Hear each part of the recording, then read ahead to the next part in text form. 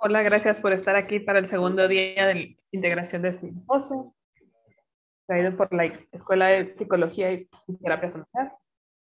Es el primer día que estás aquí. Mi nombre es Matt Strand y soy el jefe de formación espiritual e integración, decano de la capilla y presidente de integración de psicología y ideología en Fuller. Esperamos que los que pudieron estar ayer disfrutaron el problema. Tengo algunos, el programa tengo algunos. Los que están buscando traducciones, por favor vean este video.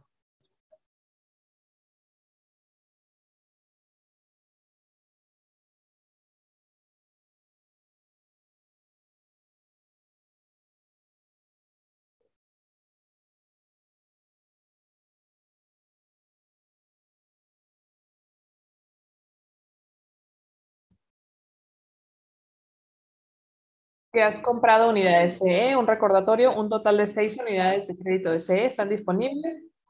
Cada dos horas es, dos, son dos unidades, por favor, ten en cuenta que se va a grabar el que hayas estado en Zoom y se va, y va a haber una, un formulario de evaluación que tienes que completar al final para poder obtener el crédito. Al final de la semana todos van a recibir una, una encuesta y la evaluación va a ser parte de eso y lo vas a poder descargar en la última parte, junto con las instrucciones de cómo enviarlo. Los certificados no van a ser enviados hasta que hayas mandado tus evaluaciones a psyche.fuller.edu. Todo va a venir eso en el paquete. Hoy vamos a empezar la presentación del doctor Emmons con una respuesta de un miembro de la facultad de Fuller y después de un estudiante, que, una estudiante que estuvo en Fuller. Después va a haber preguntas y respuestas por favor, manda tus preguntas en Zoom. La parte donde dice Q y A. Te invitamos a, a poner ahí tus preguntas, sino en el chat.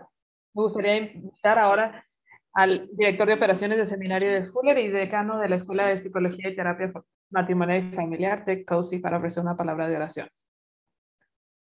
Gracias. Y bienvenidos a todos hoy al día 2, al simposio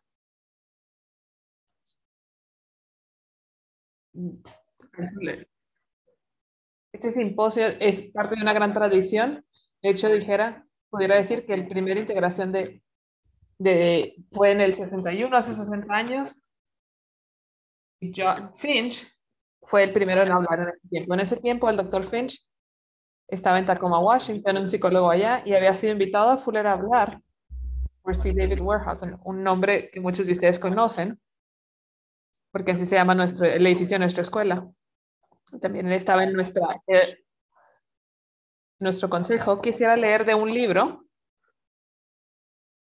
que fue escrito acerca de la historia de la Escuela de Psicología, Psicología y la Cruz, la historia de, de la Escuela de Psicología. Y me gustaría leer un poco de ese libro que describe lo que pasó hace 60 años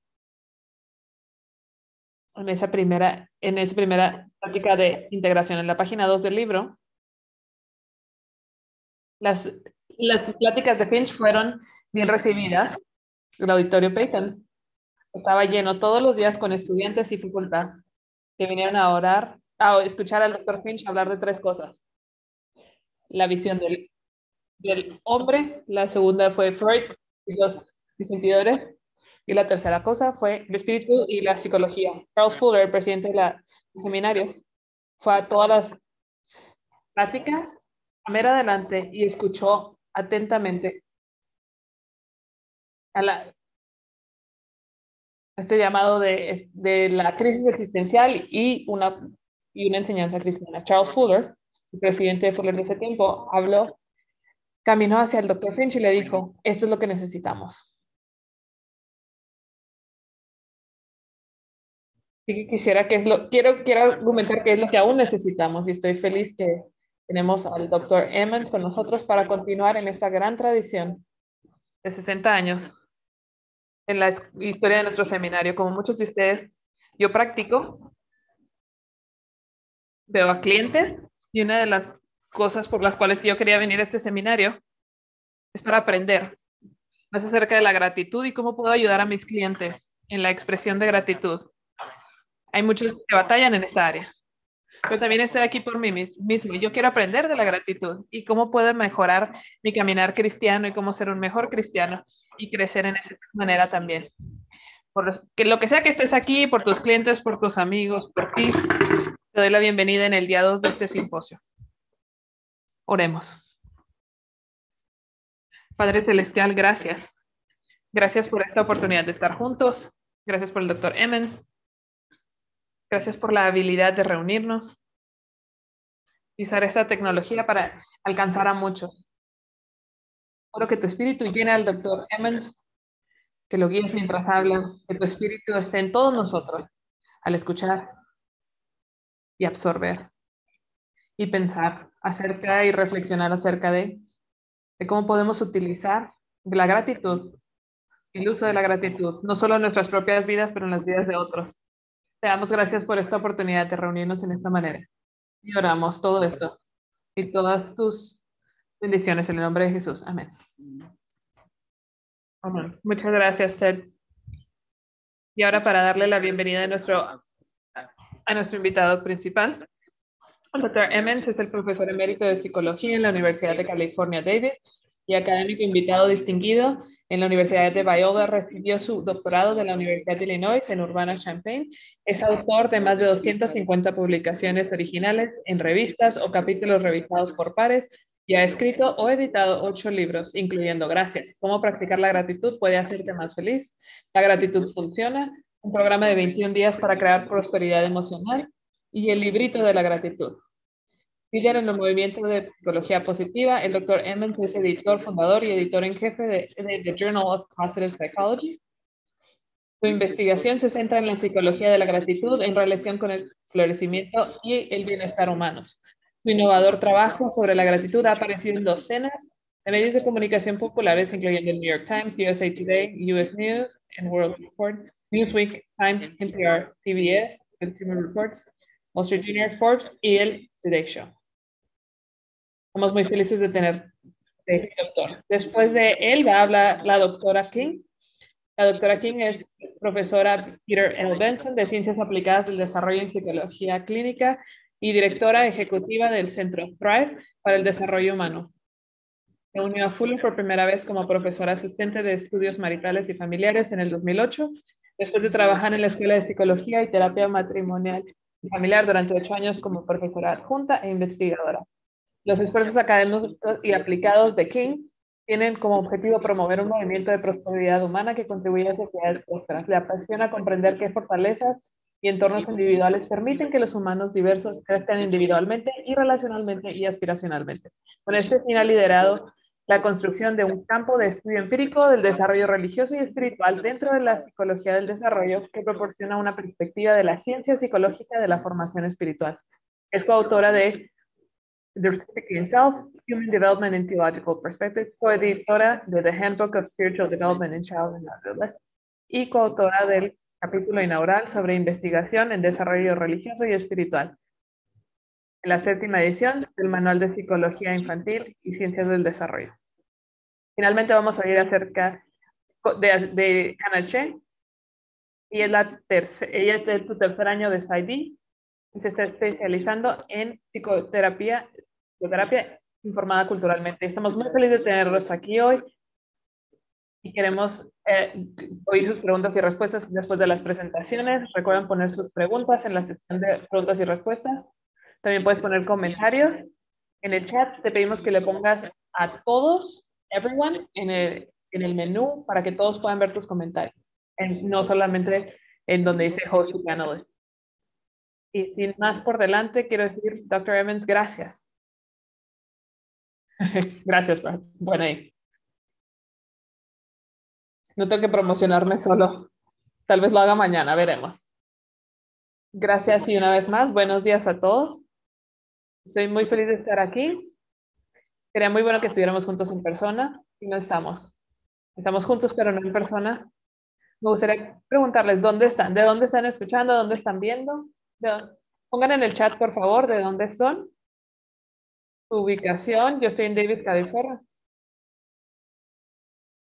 Bain es mi segundo estado donde viví por muchos años. Uh, de todos lados.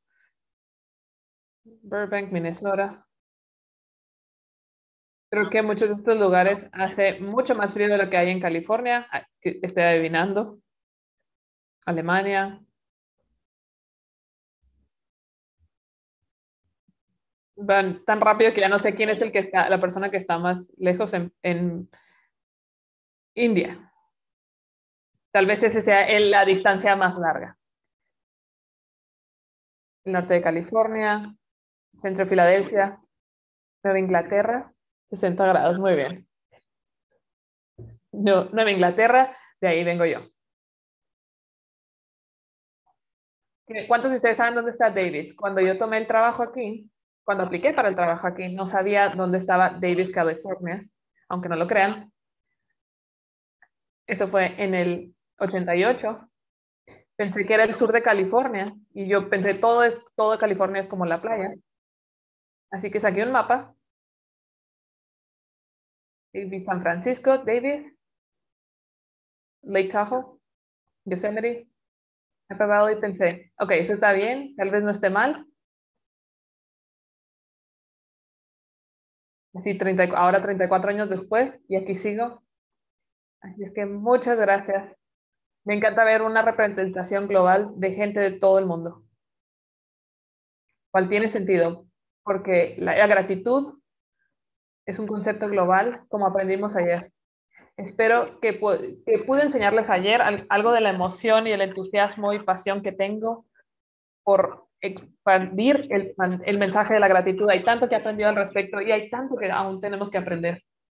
Estamos al inicio, en la punta del iceberg. Queremos aprender más hoy, compartir con ustedes de lo que yo he aprendido y ya quiero escuchar acerca de las preguntas que tienen en su mente. Aquí al final veremos cuando nos vamos a las preguntas. A veces me, me piden que predique en iglesia, lo cual es una actividad de lo cual estoy altamente no calificado. Pero sí, nunca, nunca fui al seminario, o nunca tomé un, un, un curso en homilética, pero mientras me permiten predicar las buenas noticias de gratitud, todo está bien, estoy muy bien. Eso siempre intento hacer. Y sospecho es que por eso me piden ir a iglesias y hacer eso.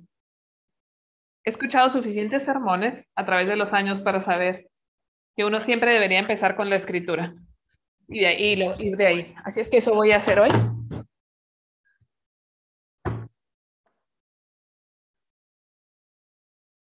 vamos a empezar la presentación. Hoy vamos a hablar acerca de la gratitud a Dios y acerca de la identidad, el espíritu de la gratitud.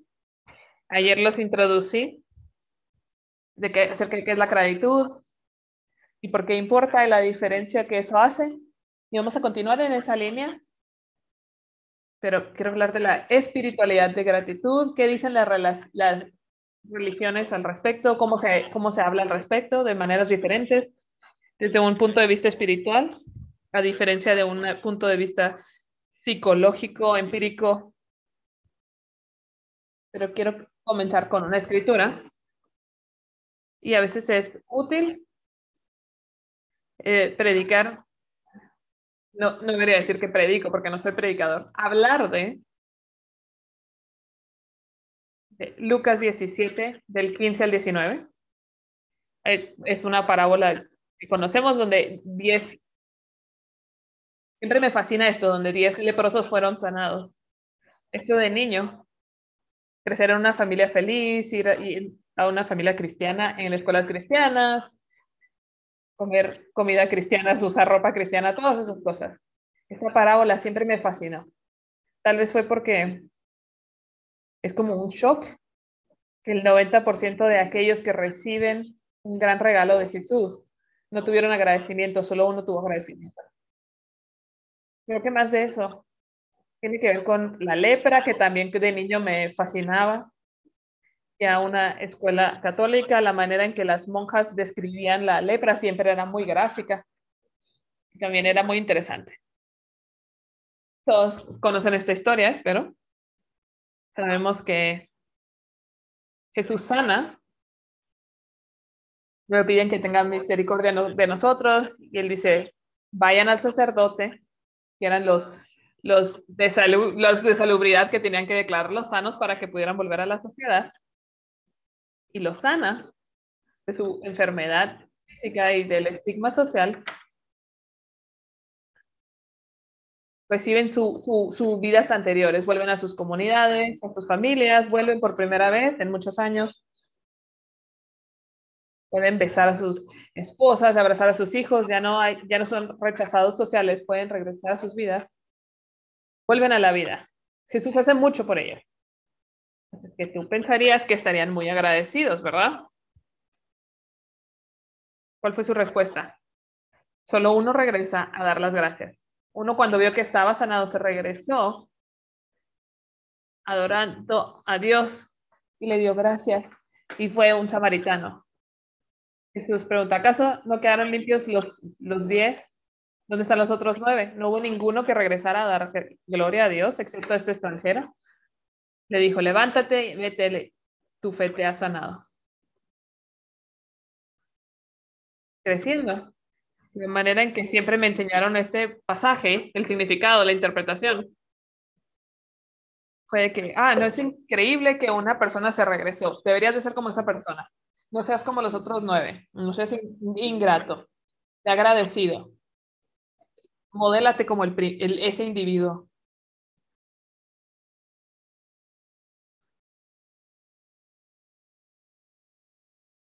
Y un sermón me cambió la manera en que yo veía esto, la manera en que yo veía la gratitud y la gracia y todas estas cosas. Y la interpretación que yo escuché, que es lo que quiero compartir con las personas cuando predico acerca de esto, o enseño o hablo de esto, para esta parábola, es que lo que más sorprende no era que uno estaba agradecido, no. Fue que Jesús sana a los diez, sabiendo bien que solo uno iba a regresar y estar agradecido. Así es que el, el don de sanidad no estaba basado en una expectativa de gratitud. Aunque es el caso que la gracia nos va a, movilizar gratitud. Una persona que recibe un regalo va a estar agradecido y lo va a reconocer. La gratitud no, no moviliza la gracia o no hay una expectativa. La gracia no es por una expectativa de gratitud. Jesús lo sana a pesar de que sabe que no van a, el, solo el 10% va a regresar y estar agradecidos. Creo que esto es muy importante y me hizo pensar en las maneras en que la gratitud en un contexto divino era diferente en un contexto humano.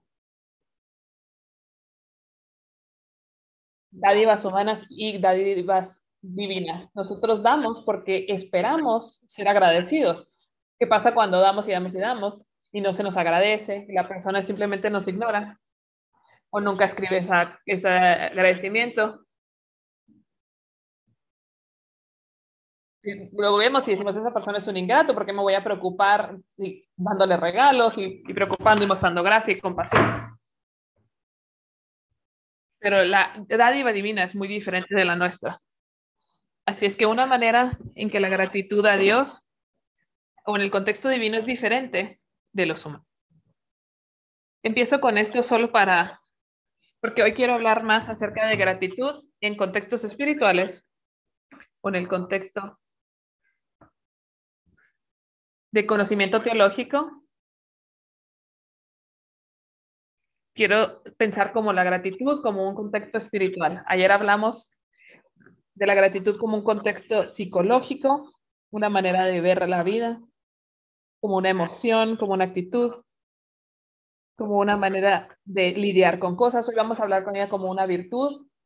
Cam nos va a compartir acerca de la gratitud como virtud. Yo pienso en eso como todas esas cosas y más. La gratitud dirige nuestra mente a los océanos vastos de la realidad que son invisibles. Cuando piensas en la gratitud, creo que la, eh, la gratitud es una búsqueda espiritual, es una búsqueda por origen. Estamos buscando el origen de nuestros, nosotros mismos, de nuestra identidad, de la bondad en el mundo, de de lo bueno que recibimos, de la benevolencia, de la bondad, de la compasión. Es algo, es una búsqueda muy espiritual y la necesidad para entender orígenes como algo. La gratitud dirige nuestras mentes a los océanos vastos de la realidad que son invisibles. Pensamos, ¿de dónde viene? ¿Quién lo dio? ¿Por qué pasó esto? ¿Cómo sería mi vida si no tuviera esto en mi vida? O esta persona o este don. Así es que reflexionamos profundamente en estas cosas, de lo bueno, como mencioné ayer, y reconocemos las raíces de este bien. Creo que estas son cosas, preguntas espirituales. Y otra cosa que podemos preguntar es, habiendo recibido este bien, ¿cómo debo responder a él? ¿Qué hago con este bien? ¿Cómo trato este bien? Con las intenciones de aquel que me lo dio. Sabemos que los textos, las tradiciones, los discos, las escrituras, todas estas tradiciones religiosas privilegian a la gratitud, la gratitud a Dios, la gratitud unos a los otros. Esas son cosmovisiones muy importantes que nos dicen que hay algo muy, que es muy esencial a los seres humanos cuando se trata de gratitud. Agradecimiento, como mencioné ayer. La piedra angular de la vida humana algunos de ustedes, y lo mencioné ayer, algunos de ustedes saben de una iniciativa que, que hemos hecho acerca de este tema, de gratitud a Dios. Se me ocurrió hace algunos años esta, esta iniciativa escrito para que personas este, patrocinen la investigación de gratitud de una manera social, psicológica, gratitud en, en lo educativo, gratitud en lo de salud, pero se me ocurrió nada de lo que estábamos publicando de la ciencia de gratitud se veía, veía explícitamente y específicamente a la gratitud en un contexto espiritual, especialmente gratitud a Dios. Y con apoyo, de mucho apoyo de mucho, y mucho ánimo del Cumberland Foundation, pudimos obtener una beca para trabajar junto con Biola University. Está diseñado a examinar maneras en que la gratitud a Dios cambia de, de la gratitud de una persona a otra persona. Y tomamos de teología y filosofía y estudios religiosos estudiosos de diferentes tradiciones. Y una de las cosas por estudiar gratitud es que es tan complejo. Hay muchas capas y niveles y necesita mucha investigación que investiga la ciencia y las humanidades. Y eso es lo que esta iniciativa intenta hacer. No voy a intentar hablar mucho al respecto, pero si te interesa, ve a gratitude2gone.com y puedes leer descripciones del proyecto.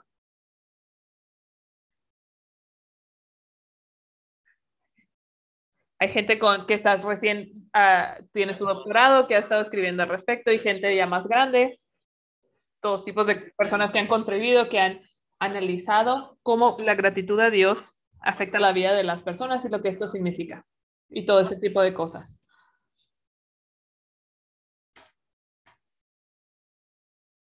Déjame decir, darte algunas frases. Voy a decir muchos nombres de qué persona soy. Así es como yo hago la integración. Yo sé que la integración significa muchas cosas a diferentes personas. Y lo dije ayer cuando empecé a hablar mi, mis estudios a gratitud. Yo quise devorar todo lo que estaba escrito acerca de la gratitud. Eso de repente me llenó porque había mucho que leer. La psicología. Entonces los psicólogos fueron los que llegaron un poquito después al estudio de la gratitud, pero como concepto filosófico y religioso ha estado durante mucho tiempo, ha habido escritos espirituales y filosóficos al respecto, pero está en el corazón de la fe, especialmente la, la fe cristiana, aunque esto uno lo puede encontrar en ejemplos y escrituras y prácticas y rituales y litanías en todas las religiones principales. John Wesley Dijo que la verdadera religión es el buen humor hacia Dios y el hombre, y es en dos palabras, gratitud y benevolencia. Gratitud a nuestro Creador y Supremo Benefactor y benevolencia a nuestros seres, a nuestros semejantes. Dije qué hermoso. Se va al corazón de eso, dos cosas. Benevolencia y gratitud. Benevolencia sale de la gracia. Cuando uno está agradecido, uno quiere dar el, del bien que ha recibido o has pensado de la gratitud de esa manera, de dar de vuelta de lo que tú has recibido. ¿Qué más tengo que decir? Ok. ¿Qué más tengo para hacer? Voy a darte una definición de gratitud. Un poquito diferente de lo que di ayer, cuando dije dos cosas. Hay afirmación y reconocimiento, pero esa es una definición que viene de, de alguien cuyos pensamientos admiro mucho, de Charles Matthews. Chuck Matthews es un profesor de estudios religiosos en Virginia y él está en, en, esta, en el Gratitude en el proyecto, y él lo define de esta manera. Él lo hace de una perspectiva de estudios religiosos o humanidades. Y él dice que la gratitud es un espectro vagante coherentemente de actitudes de respuesta. manifiesta los humanos en sus tratos unos con otros y el cosmos. Una respuesta más que una actitud preventiva. Agradecimiento es una de las de los rasgos más duraderos de la existencia humana. Lo que dice es que podemos estudiar la gratitud de muchas maneras. Es un objeto de estudio serio. Y lo podemos estudiar de manera filosófica y teológica. Los psicólogos han, han dicho, ok, así vamos a estudiar esto y definirlo y ver cómo afecta la vida de las personas, todas esas cosas que compartí con ustedes ayer. Pero estoy completamente consciente y en, y en acuerdo con Matthew que los psicólogos no tienen el monopolio de la verdad cuando se trata de estudiar el, la gratitud. Tienes que estudiar perspectivas de diferentes puntos, especialmente aquellos en, lo, en las perspectivas filosóficas y teológicas. Escucha esto, esto es lo que Chuck dijo. Muchos de los que estudian gratitud reconocen que los conceptos delgados de la, de la gratitud, o sea, muy empíricos, como lo que hablé ayer, tener un, un cuestionario para, para, medir la gratitud, pero a veces necesitas, necesitas más capas para poder dar textura y color a nuestras nociones de gratitud y agradecimiento. Estos conceptos delgados solo imperfectamente captan lo que las tradiciones filosóficas y religiosas antiguas han buscado. Y a veces se pierden de lo más esencial que ellos ya han visto. Esas tradiciones dicen que la gratitud no solo es algo social, sino algo en una que, que habla de nuestra participación en un mundo. Normativamente experimentamos, experimentamos las relaciones. Lo empírico a veces no ve las realidades las estructuras fundamentales y las fuerzas de la, de la inteligencia del cosmos y las posibilidades y la necesidad que los humanos deben de conectarse a ellos. La atención a estas tradiciones podría hacer crecer mucho estas investigaciones. La psicología, necesitamos eso, necesitamos la ciencia y hemos hecho mucho progreso entendiendo lo que la gratitud es y cómo cómo funciona el cerebro, pero también necesitamos esas, estas visiones de las tradiciones religiosas que pueden agregar muchas capas y hacer algo más profundo y aumentar nuestro entendimiento de qué es la gratitud, porque como mencioné ayer, aparece, aparenta ser que desde el principio del tiempo de la escritura, las gratitudes, esto es básico. Los teólogos tienen mucho que decir han sido muy, hablan mucho acerca de, de esta textura de, de, nuestro entendimiento de la gratitud. También los filósofos, también desde de, la filosofía moral, lo mencioné ayer, que yo quiero explorar la manera en que los gratitud toca la existencia humana. Muchas cosas buenas se han dicho de la gratitud, especialmente por filósofos que han dicho, es el, es el, es lo mejor de los el secreto de la vida, la, llave que abre todas las puertas. Una virtud tan grande como la vida misma. Eso es solo la mitad de lo que es. Porque lo que la gente ha dicho de la ingratitud, aún se han dicho cosas más grandes. Si la gratitud es la reina de las virtudes, la ingratitud puede ser el rey de los vicios. La ingratitud es una acusación.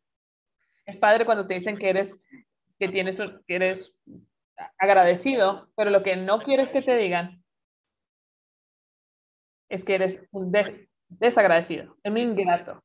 Así que la ingratitud es una acusación, la esencia de la vileza. Creo que fue Kant el que lo dijo. David Hume dijo que era el crimen más horrible y antinatural, una malignidad del alma, monstruoso y espantoso. Una persona dijo, de la ingratitud. Jonathan Edwards, para dar otro nombre famoso de hace siglos, dijo mucho que decir, en especial en la gratitud sobrenatural. Él hizo una distinción entre la, la gratitud natural y sobrenatural a Dios para los beneficios que Dios nos da, o la gratitud simplemente por la naturaleza de quien Dios es. Eso es lo que él dijo de la ingratitud. Llámame desagradecido y llámame todo lo que sea mal. Es imposible. Y debería haber un carácter más odioso dado al hombre de, decirle que es desagradecido. Muy poderoso. La gratitud es una virtud, ingratitud es un vicio. Ya sea que tomemos algo filosófico o psicológico, una perspectiva psicológica. Cada una de estas disciplinas enseña una, un concepto, que hay, que hay igualdad en el concepto, en el entendimiento del concepto. Una de las cosas que mencioné ayer es que la gratitud nos ayuda a reconocer que la, que la bondad viene de fuera de nosotros mismos. Esto puede ser controversial, puede decir, bueno, puedo estar agradecido conmigo mismo o gracias por las cosas buenas que tengo. Sí, esa es una parte de eso y eso tiene sentido. Y sabemos que las personas están agradecidas por los, las fortalezas que tienen y que pueden dar, regresar el bien que han recibido, que pueden regresar la bondad de parte de sí mismos que han, porque los dones se vuelven una expresión y extensión de nosotros mismos. Eso no es controversial. Es diferente decir que uno se da gracias a sí mismo por, por nuestros propios dones Tienes que hacer trigonometría para hacer eso funcionar, pero quiero hablar de los reconocimientos de gratitud, lo que la, gratitud requiere. Mencioné ayer que hay, hay una secuencia de tres partes. Y dijo, siempre involucra tres cosas. El benefactor, el beneficiario y el regalo. El que da el regalo y el que lo recibe. ¿Qué reconocemos? Cuando estamos agradecidos, reconocemos que hay algo bueno, hay un beneficio que hemos recibido, tenemos algo de valor. Reconocemos que hubo un dador, una agencia externa, así es que estamos sensibles al, al regalo y al que da.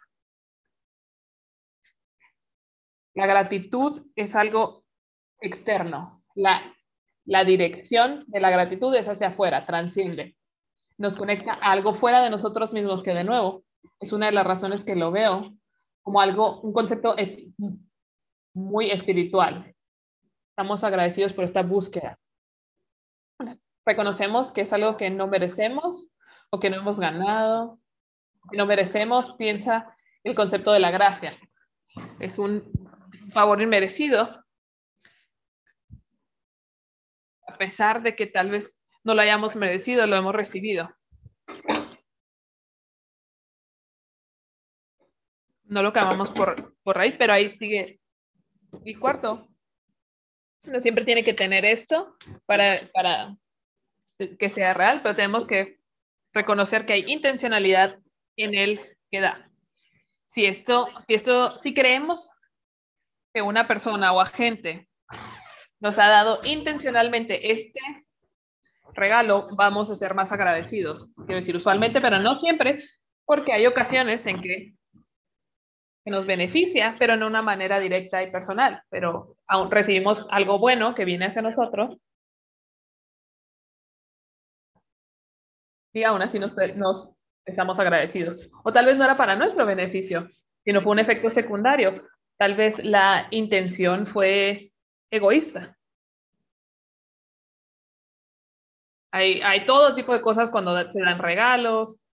Los regalos pueden dar envidia, los regalos pueden humillar, si no lo puedes regresar el favor, si está, la proporción está muy desbalanceada en el contexto de las relaciones, los dones, el cambio de, de regalo puede ser problemático. No podemos decir, puede haber otras motivaciones detrás de Y finalmente, y creo que esto es lo más crítico, todos son críticos, pero la necesidad de dar de vuelta lo bueno que hemos recibido. ¿Qué cambia? La gratitud de simplemente ser feliz o gozoso, como Rebecca Bear ah, dijo ayer en sus comentarios, o estar complacido con algo.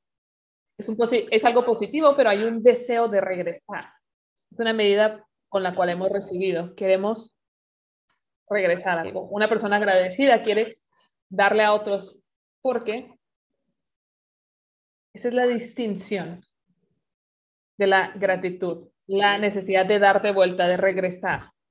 Distingue la gratitud de otros sentimientos positivos y una de las razones por las cuales no es simplemente algo positivo, puede ser algo también que esté estructurado con responsabilidad, obligación y otras cosas. Así que hay una frase que tengo en mi pared porque me motiva mucho.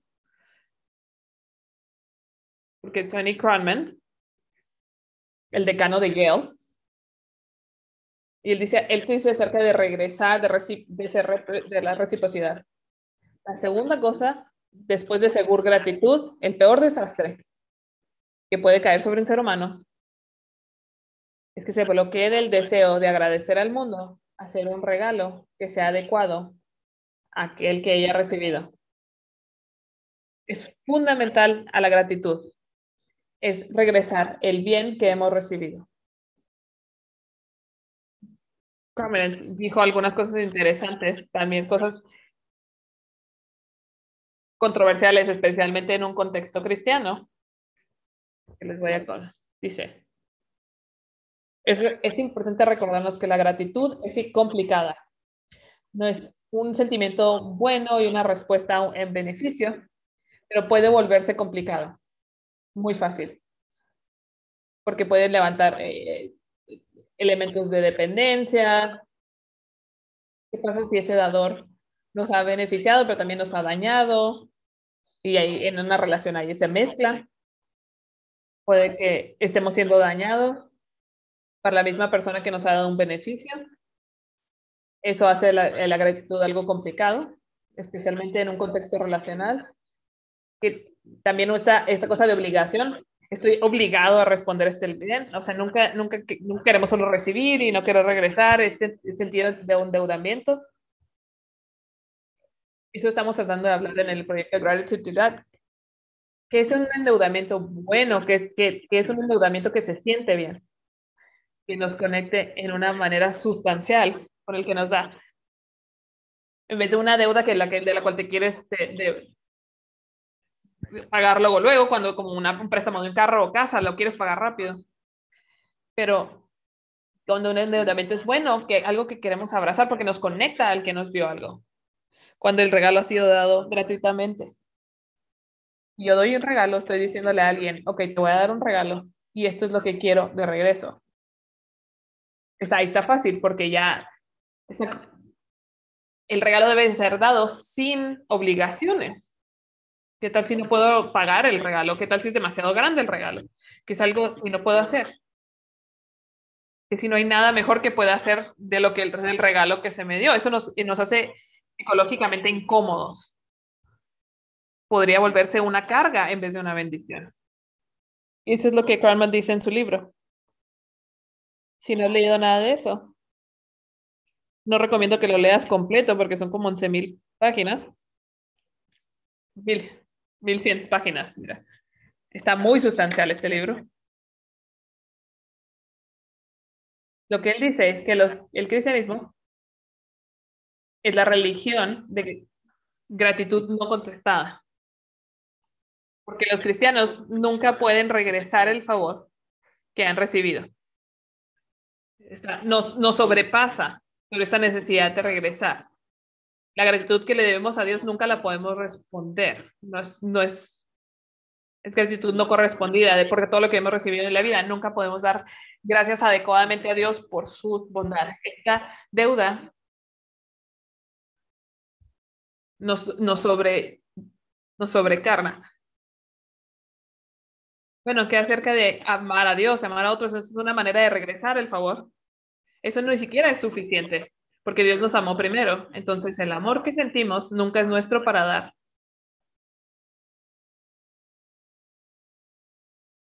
Es que todo esto se vuelve envidia hacia Dios y sobre todo este representa los tiempos modernos. Puede que estés o no estés de acuerdo, no sé, es controversial. Algunas cosas están bien o mal. Yo creo que es, un ejemplo.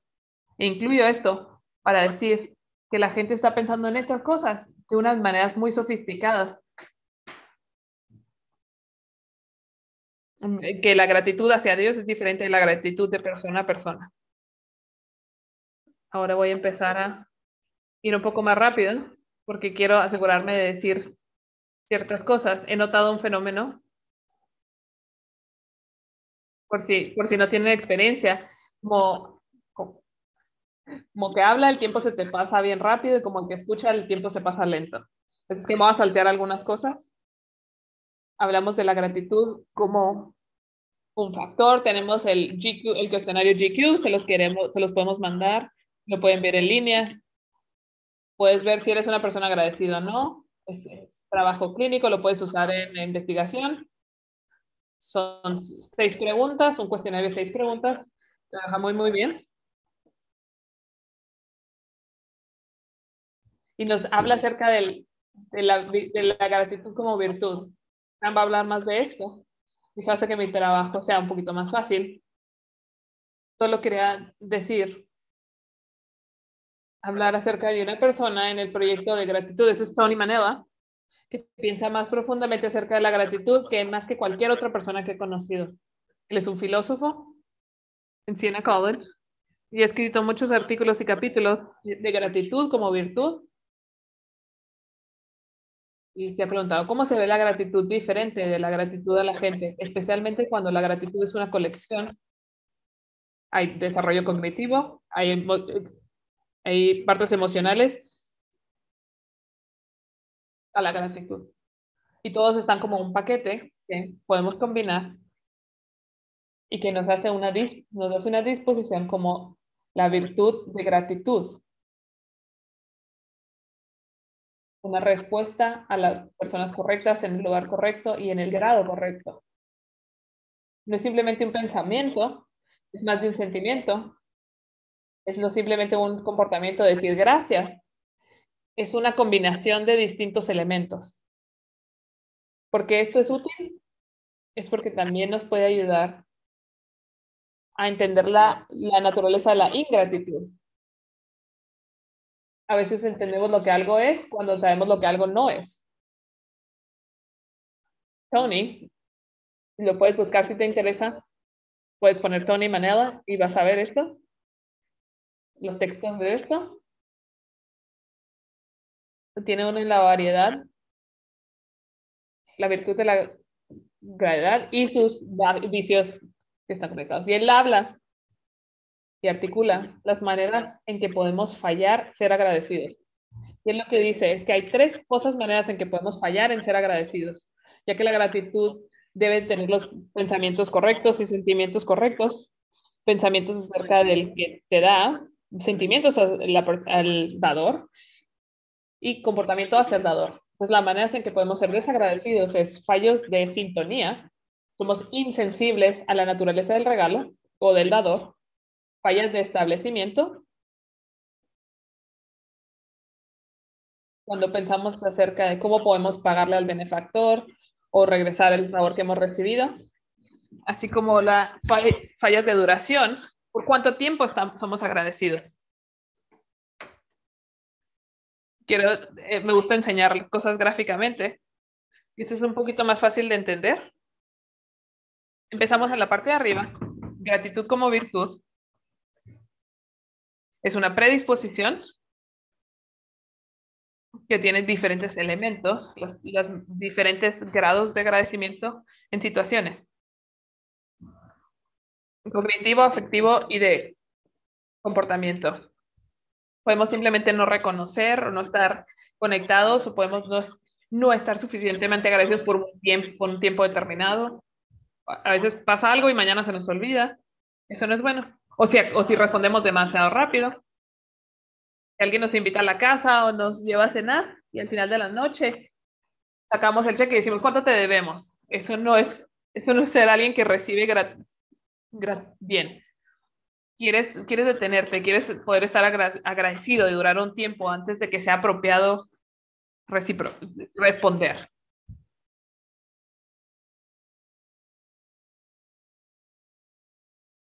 Puedes tener mucha gratitud o muy poca gratitud. Podemos ser demasiado agradecidos. Alguien dijo eso, puedes tener demasiada gratitud, definitivamente. Puedes magnificar el regalo. Alguien te abre una puerta hoy. Yo paso el resto del día diciéndoles gracias, corriendo, abriéndole la puerta a otras personas. Está fuera de proporción. O si alguien salva mi vida,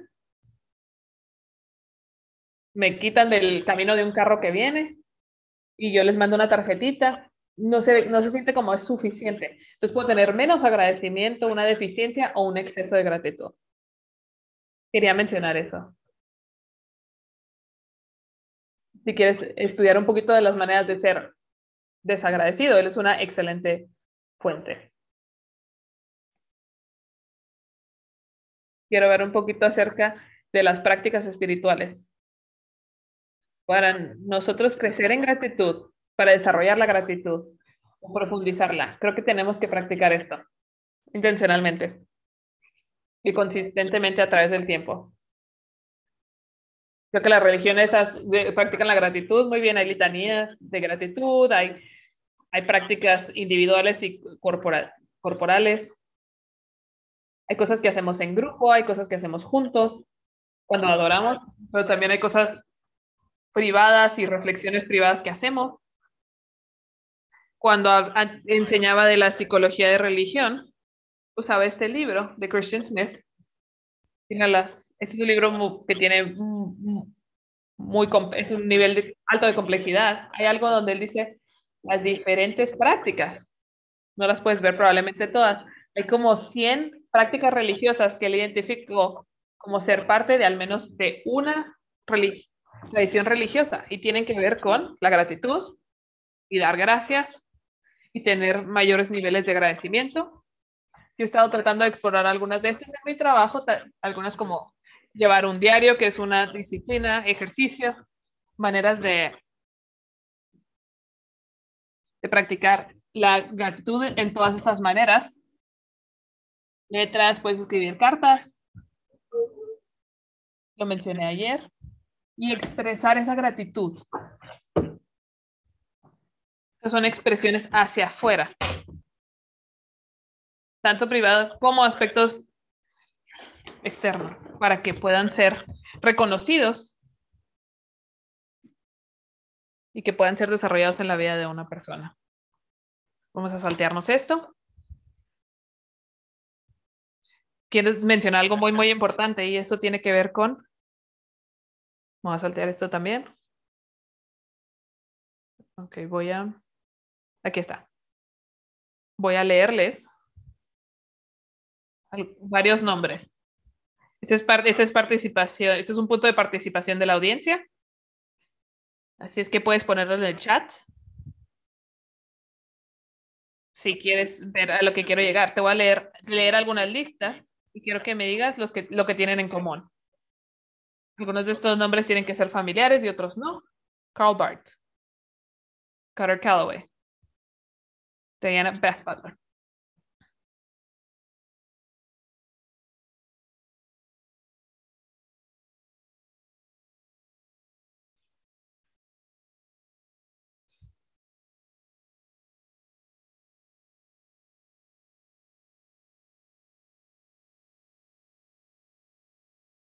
Es una docena. Son 13 nombres.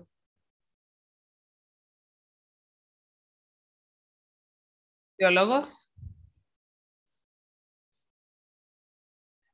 No, no simplemente qué son o qué creyeron, qué dijeron. Escribieron acerca de la gratitud, que son agradecidos.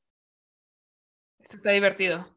Filósofos, Todos somos teólogos, porque todos pensamos acerca de Dios.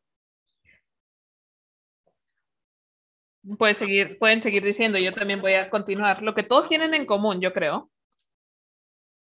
es la noción que la identidad, que la identidad es la recepción de la gratitud. La identidad recibe la gratitud.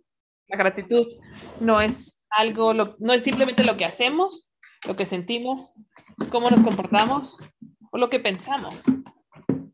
Es quiénes somos. La gratitud es quiénes somos.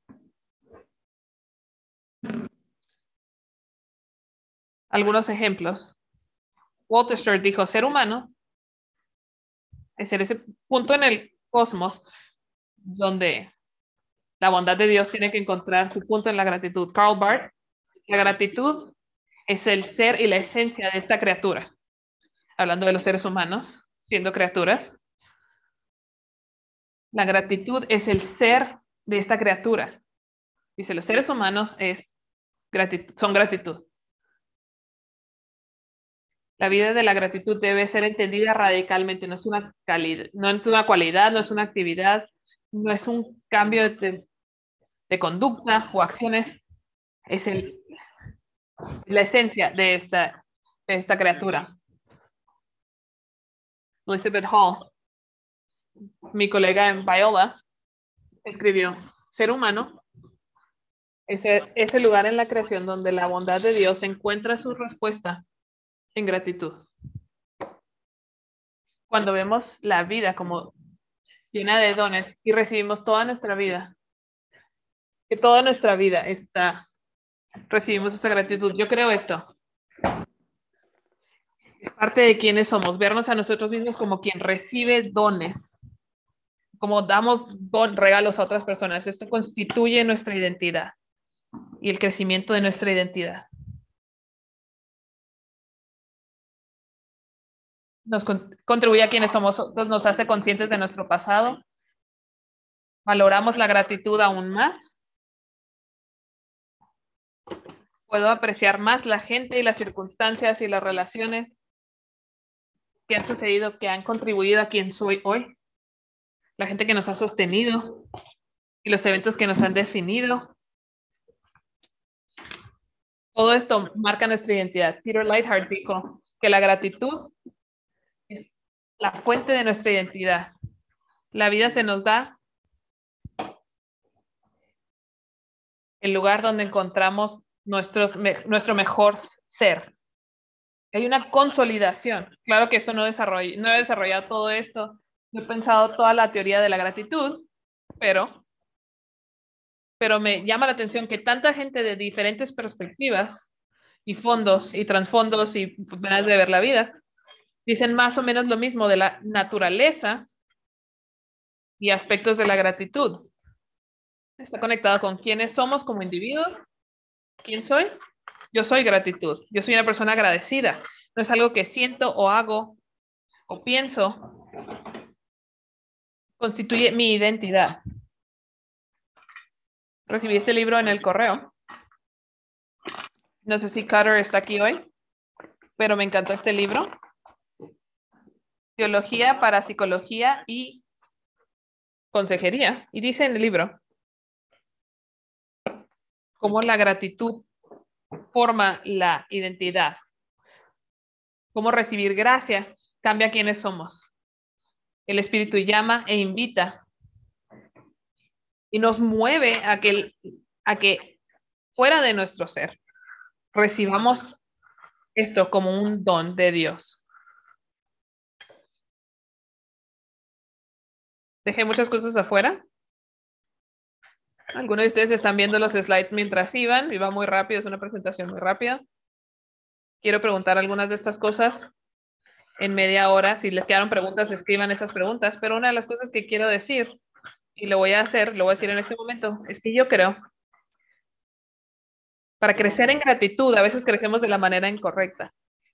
Pensamos en la gratitud en algo que tenemos que mejorar. Se vuelve una un proyecto dirigido. Quiero volverme más agradecido, necesito enfocarme en la gratitud y en ese crecimiento. Así es que me vuelvo tan involucrado con mi propio nivel de gratitud que quita el enfoque, pone el enfoque en el lugar incorrecto. En vez de enfocarnos en lo que otras personas están haciendo por mí o lo que Dios ha hecho por mí, empieza a pensar cómo yo necesito ser más agradecido. Bueno, soy más agradecido que otras personas, estoy más agradecido, más agradecido que ayer, quiero tener un 10 y ahorita soy un 7 en ese cuestionario. Y esto se interrumpe al enfocarme en cómo estoy, en cómo estoy siendo de, de agradecimiento. Y he hecho algunos estudios acerca de esto, donde cuando las personas vuelven a la gratitud una tarea, como una aplicación, con una aplicación en su celular, pero cuando se les, cuando escriben acerca de otra persona, entonces su gratitud aumenta. La práctica importa. ¿Cómo la enfocamos importa? Si la enfocamos en nosotros mismos o en otros, la gratitud involucra lo que otros han hecho en nosotros en vez de llenarnos con nuestra, nuestro crecimiento espiritual. Entonces tenemos, hay un caso para más, para más prácticas espirituales. Creo que la ciencia que he hecho y que se nos indica, parece indicar esto. Así es que déjame terminar justo a las 11 con una frase de Gerhard Forde. Dice que el cristianismo no es un movimiento de vicio a virtud, sino un movimiento de virtud a gracia. Crecimiento en gratitud. no es el movimiento de gratitud a gratitud, no. Es el movimiento de tratar de estar agradecidos a simplemente recibir, no enfocarnos en lo que necesitamos hacer. Ah, necesito tener un diario de, gratitud, necesito leer este libro de gratitud, necesito ir a este seminario, lo cual es útil. No, estamos diciendo de vernos como quien recibe, enfocarnos en lo que ha sido hecho, no en lo que se necesita hacer. Esta es la manera de tener este nivel de gratitud y mantenerlo durante un tiempo. Esta es mi historia. Estoy muy emocionado de que Pam King va a responder.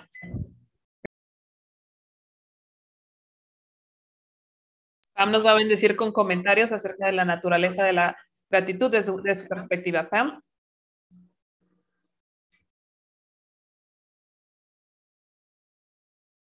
Gracias.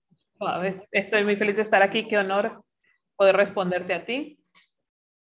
A alguien que he admirado mucho como un científico social. Y en algún punto me di cuenta de tu fe y es extraordinario. Un ejemplo, eres un ejemplo extraordinario y ver la ciencia. Y quiero empezar con un amén. Para alguien que dijo que no predica, sentí que me predicaron acerca de la gracia y los dones que hemos recibido de Dios. Voy a empezar a decir, Bob, eso fue, gracias por el tour de force de la gratitud cubriste mucho acerca de lo interpersonal. personal estaba un poquito nervioso cuando vi el subtítulo acerca del el, rey de los vicios. No quiero ser categorizada dentro de esto, pero empecemos ahí. Gracias por la latitud y amplitud acerca de la gratitud que has cubierto en esta última hora como yo, no me quiero informar simplemente en, lo funcional, pero como la ejecutiva del Thrive Center, queremos que, quiero enfocarme en la gratitud a Dios y la función como, como una virtud. Mira lo que dijiste, ya, yo llamé esto gratitud más que un sentimiento, y vengo de la ciudad,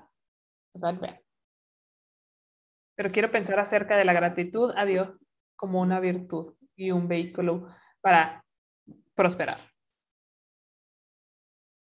Es que hoy, sin querer simplificar mucho la, la investigación compleja y simplificar la virtud, quiero ofrecer un poco más de una manera de ver esto y pensar acerca de la gratitud de Dios como una virtud. Específicamente, quiero quiero decir una de las últimas cosas que Bob dijo. Y no creo que lo dijo, pero lo quiero decir, porque fue maravilloso. Pero habló de la gratitud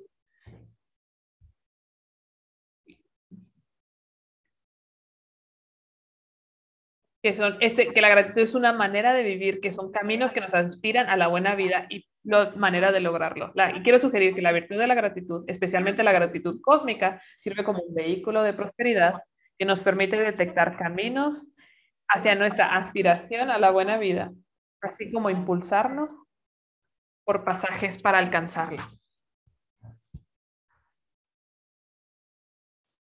Particularmente como cristianos voy a enfocarme en cómo la gratitud sirve como un, un, para ayudarnos a crecer, que nos ayuda a prosperar. Pero para poder hablar de prosperar, quiero hablar una definición de prosperidad. Si buscas prosperidad en el, el, diccionario dice que, el, que es un crecimiento vigoroso. Perdón, estoy teniendo unos problemas de dificultad.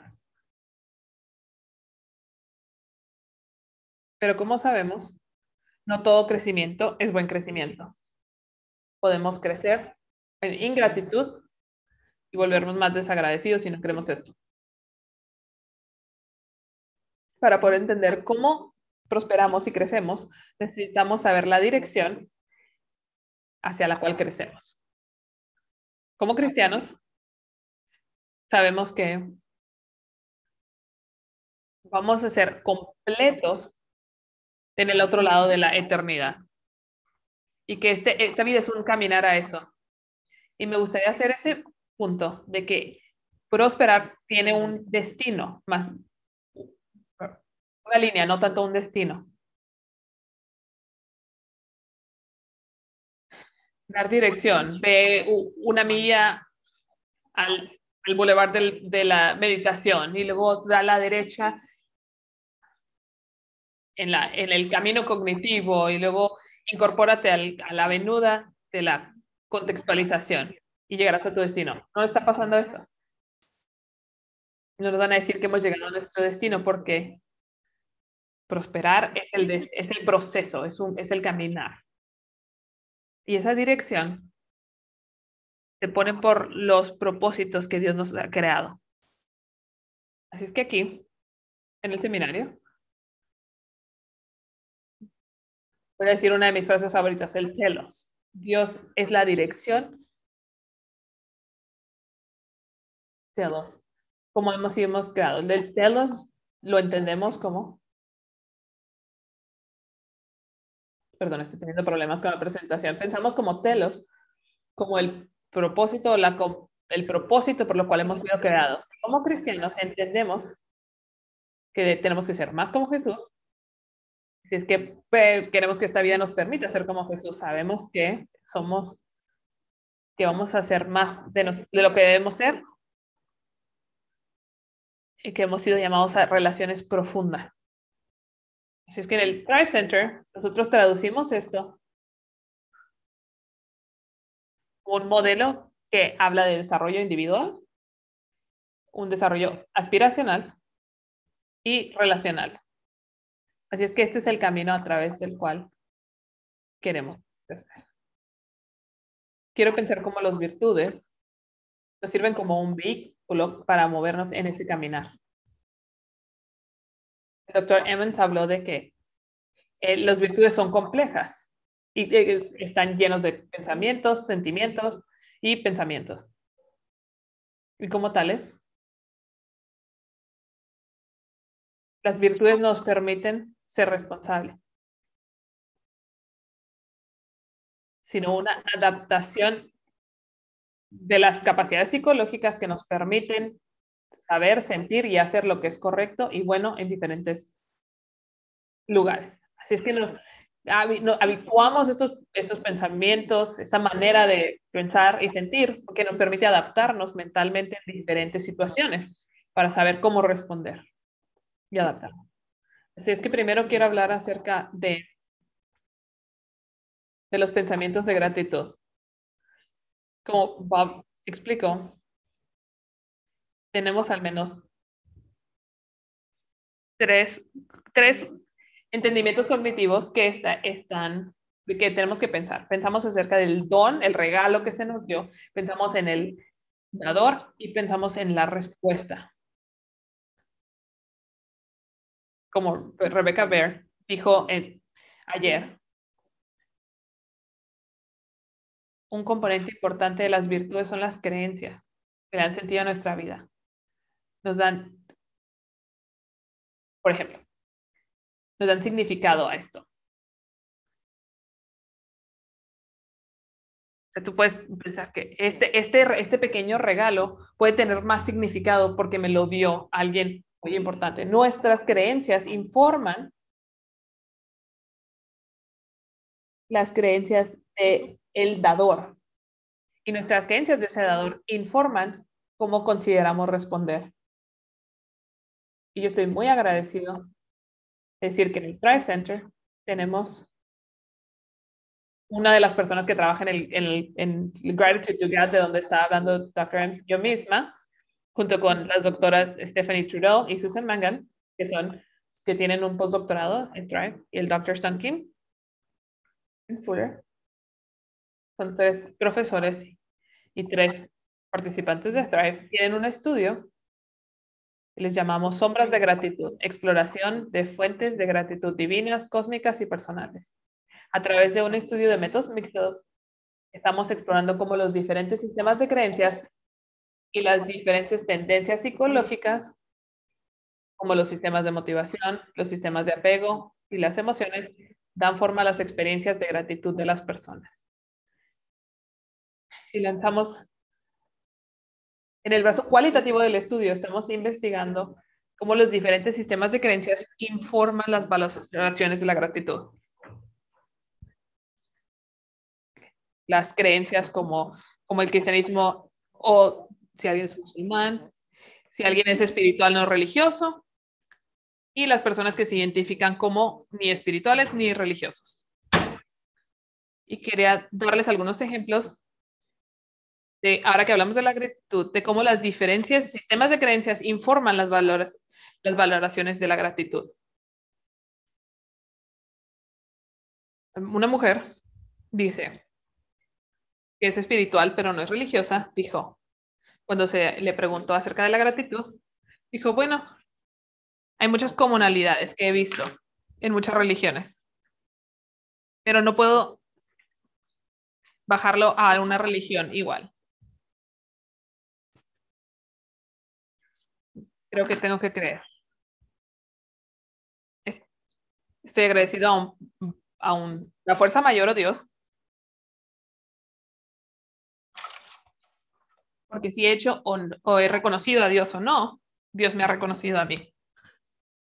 Así es que aquí está ella como una persona que puede que no tiene un sistema religioso eh, específico, pero entiende la idea de un ser mayor. Otros en este estudio ah, le dieron gracias a la ciencia o van a decir que, o a la, a la magia negra como una, una fuente de raíces. tenemos sentimientos de gratitud aparte. Y estos, como Bob dijo, yo lo estoy simplificando a dos categorías. Una es pues, emociones positivas, son elevadas, son sentimientos de gozo, deleite, asombro, elevación. Eh, aparte de esto, hay, hay otros sentimientos positivos que son, hay más pacíficos. Ellos pueden eh, levantarse por nuestra apreciación de, cosas diarias y rutinas diarias, por ejemplo. En el estudio, alguien nos dijo, muchas veces es volver a Dios. Hay gratitud por lo que tenemos en todo todos los días. Gratitud por la ciencia, por los hospitales, saber que todos van a estar bien. Esto nos dice gratitud por cosas que están ahí. A ver si esto se refiere. Este tipo de emociones las más elevadas o las más que calman más, son muy importantes acerca de cómo funciona la gratitud. Así es que tenemos, voy a, comportamientos de gratitud. Algunos son, como Dios dijo, como Bob dijo, son respuestas y prácticas. El reconocimiento de tú experimentas los sentimientos de gratitud y esto tiene que ver una manera de darle gracias al dador o te llevan a cambiar tus pensamientos acerca del creador. Y un ateo en nuestro estudio nos dijo, cuando, cuando no quiso hablar de una eh, raíz cósmica de las cosas buenas, dijo, cuando se le preguntó de gratitud,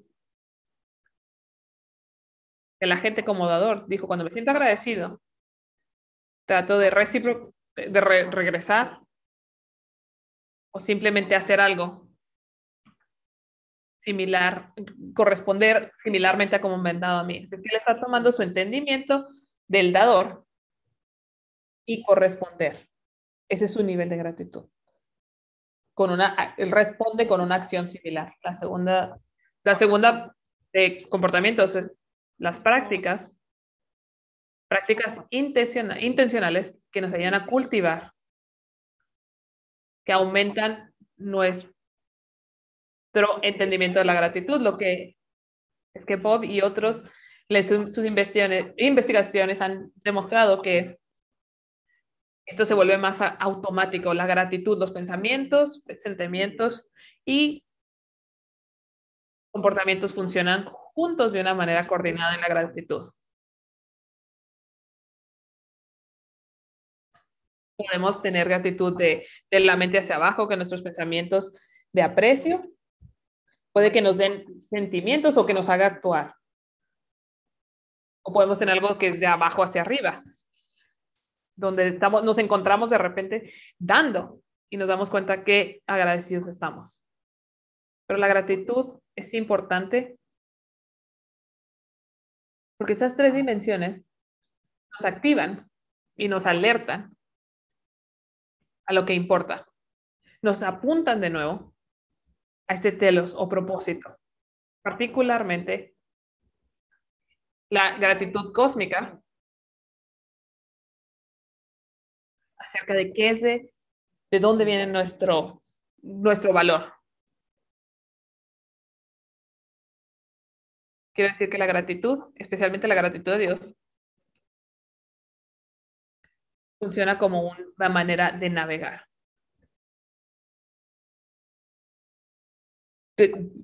mueve nuestros sentimientos para orientarnos a lo que importa más. Nos alinea a ese propósito. Las emociones pueden decir, pueden alertar, decirnos, esto significa bien, siento gratitud. Esto es algo que es importante. Prácticas como escribir, tener un diario de gratitud o algo como la, la oración de examinar nos dan las oportunidades de alinear nuestras emociones y estar conscientes de, las, de lo que nos informa y nos orienta y nos guía hacia nuestro propósito. Aparte de ser como un sistema de guía o GPS, la gratitud funciona como un sistema de gasolina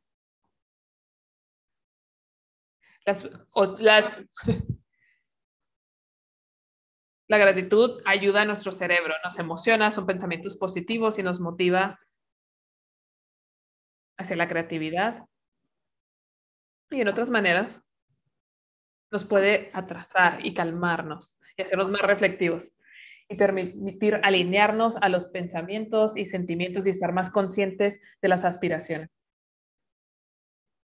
más allá, cuando practicamos gratitud, entre más automáticos son estos pensamientos, casi operarán como algo más automático, una navegación, un sistema de navegación más automático. No estoy diciendo que, que la gratitud cósmica nos permite ya desconectarnos, como que estamos en, en piloto automático, sino que, no, que nos calibra. Y esas, donde esas aspiraciones, nuestros textos sagrados y nuestras...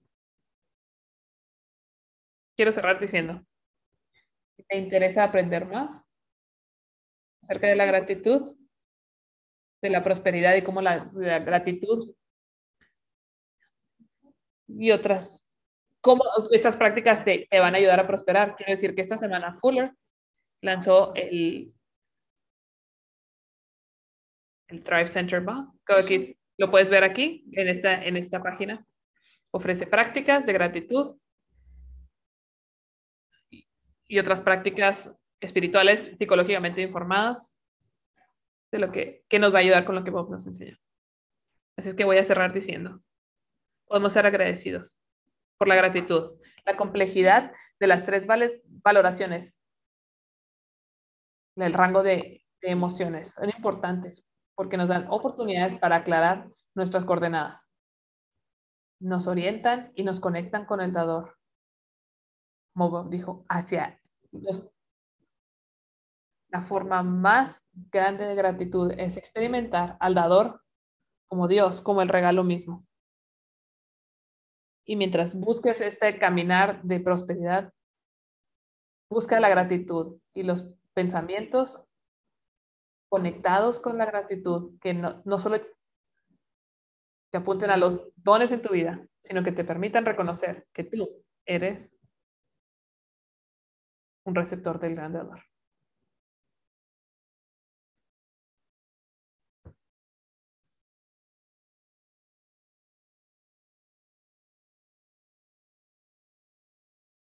Gracias, doctor Emmons y doctora King, por sus plática y su respuesta y su investigación en la gratitud. Es un privilegio poder participar aquí. Me gustaría responder cómo yo he observado la gratitud como una virtud y práctica en mi propio contexto cultural coreano, ya que he recopilado datos a lo largo de los años de mis experiencias vividas, así como temas extraídos de mi experiencia clínica. De la conferencia del doctor Emmons, sabemos que la gratitud es un componente importante en la configuración de la experiencia humana. Siento que esto se nos está comunicando cuando tantos probablemente se sienten cansados por experimentar pérdidas y tragedias. Pueden estar luchando con el concepto de la gratitud, especialmente dados los últimos dos años.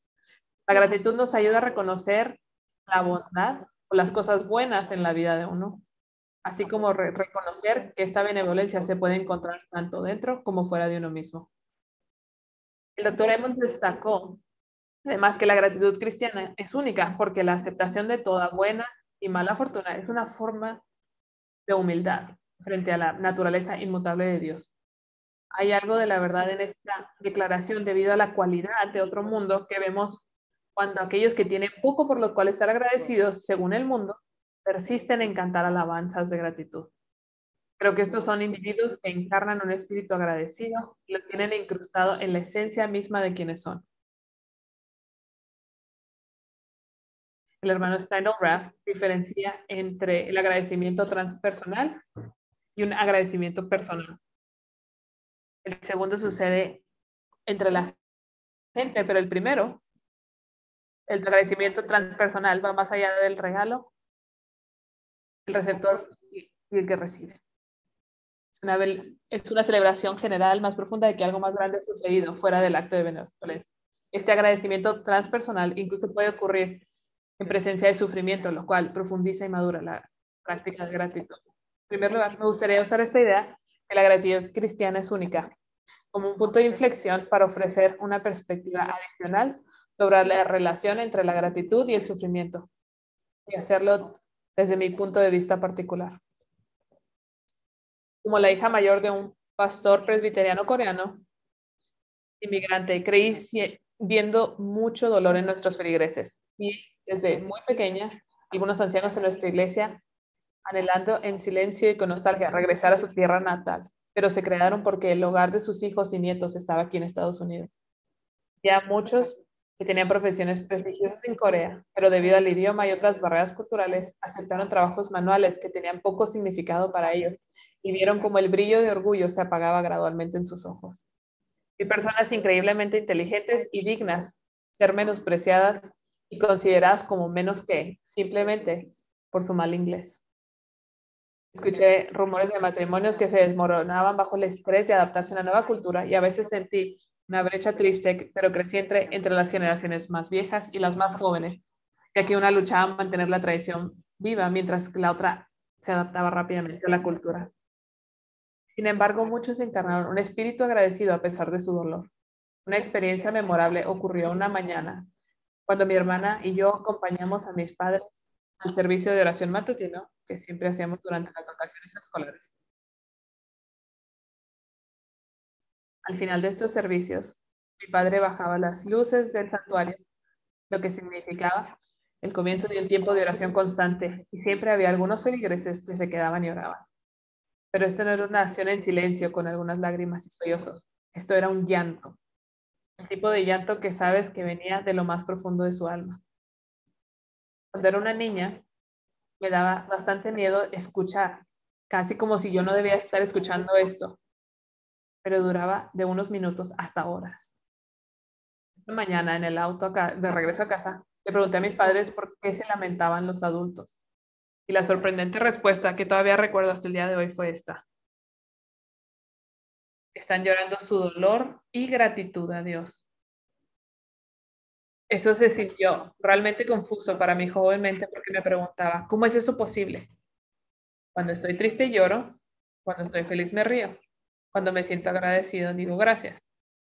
Tres emociones separadas, tres respuestas separadas. Entonces, ¿cómo pueden salir palabras que expresan dolor y agradecimiento al mismo tiempo? Y sin embargo, algo de esa respuesta fue muy profundamente satisfactorio. Tenían esta disposición poco mundana y agradecida que no disminuía a pesar de su dolor. Coexistieron y fueron experimentados simultáneamente sin anularse el uno al otro. Mi formación. A menudo me he preguntado cómo sentarme con mis clientes coreanos mientras expresan su dolor, pero también su gratitud al mismo tiempo. Como dice mi supervisora, tenemos que caminar la cuerda floja y hacer ambas cosas y no una u otra. Aunque esto hable, esto se habla de gente que tiene las dos culturas, creo que esto aplica aquí, porque los humanos son seres complejos que pueden experimentar una amplia gama de emociones en cualquier momento. Si tienen dolor, lloramos con ellos y lo ayudamos a procesar emocionalmente ese dolor cuando se regocijan por el agradecimiento a Dios y a otras personas, nos regocijamos con ellos y lo ayudamos a procesar eso también. Los ayudamos a procesar tanto el dolor como a reconocer la bondad que han recibido. Segundo, el doctor Emmons citó investigaciones que explican cuidadosamente la diferencia entre la gratitud a Dios y la gratitud de las personas. Como creyentes, la gratitud a Dios nos recuerda que Dios en su benevolencia nos da buenos dones que muchas veces no merecemos. De alguna manera nos muestra que estamos en deuda con Él, porque Él nos da cosas que no podemos pagar por completo. Entonces, cuando agradecemos a Dios, demostramos nuestra dependencia de Él para que nos sostenga.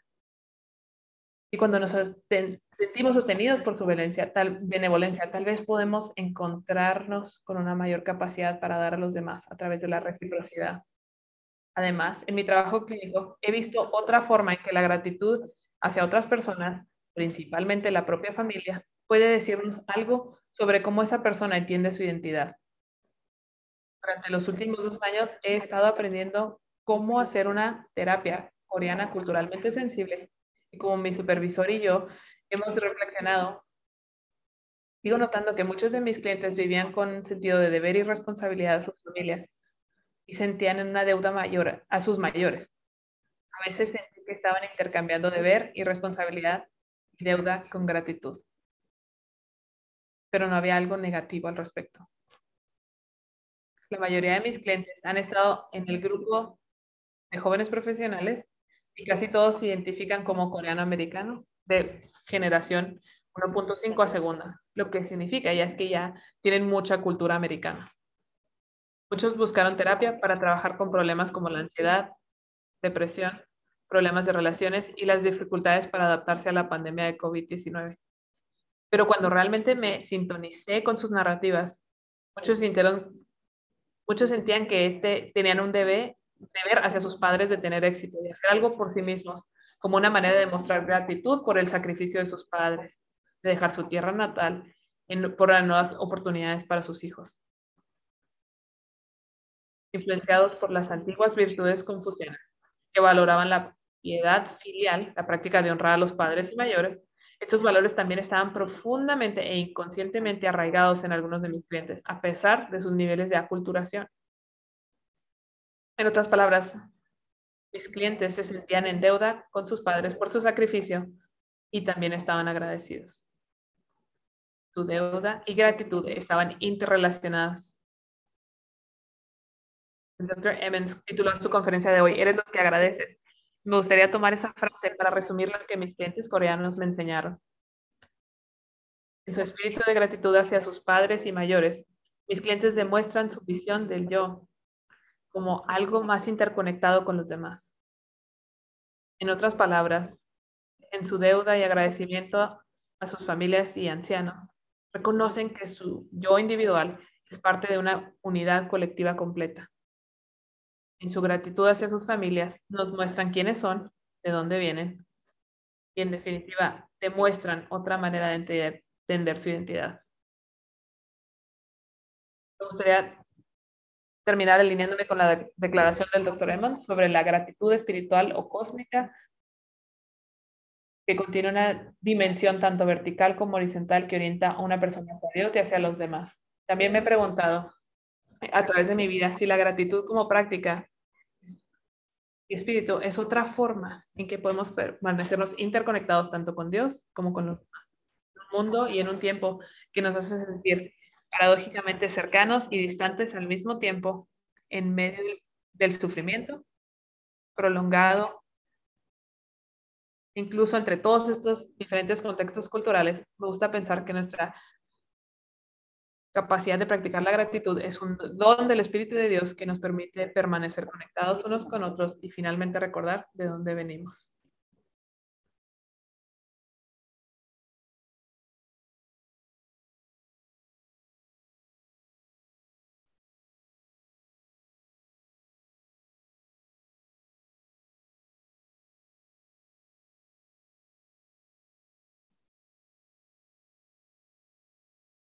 Antes de que empecemos con nuestras preguntas, te recuerdo que puedes poner preguntas en la parte de abajo. En el, vamos a tratar de contestar la máxima cantidad de preguntas posibles. Te permite votar por preguntas que quisieras ver que se contestaran y esas las van a subir a la parte de arriba. Por favor, haz esto. Igual que ayer, el doctor Emmons quiero darte un minuto o dos para responder algo que, que ha sido dicho algo que te ha hecho pensar de la doctora King o de Han? Es, muy difícil hacer eso en un minuto. Estas presentaciones fueron muy poderosas. Espero que Hannah y Pam, que puedan ver el chat, porque les están dando mucho amor en el chat por sus contribuciones. No estoy solo. Y Brad y todos los demás. Apreciamos mucho la profundidad de sus comentarios Ana, estaba agradecida que mencionaras al, al hermano David. Él es uno de mis héroes. Mi, mi gurú de la gratitud, he aprendido más de la gratitud del hermano David de cualquier, de, de alguien más. He tenido la fortuna de conocerlo.